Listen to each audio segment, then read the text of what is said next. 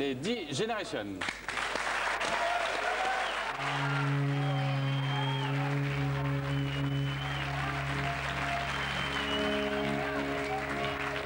Yeah, I was with Jerry Lewis the other day. He was looking for some prostitutes, and uh, I said, you know, we got to find Inspector Clouseau. He said, we're in Paris. And the song goes like this.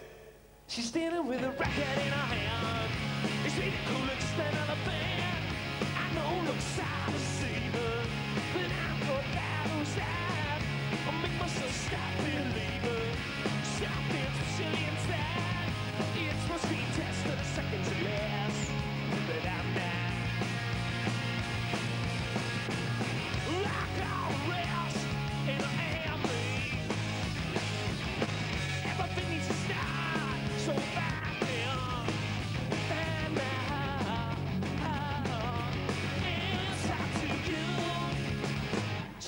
with a taste.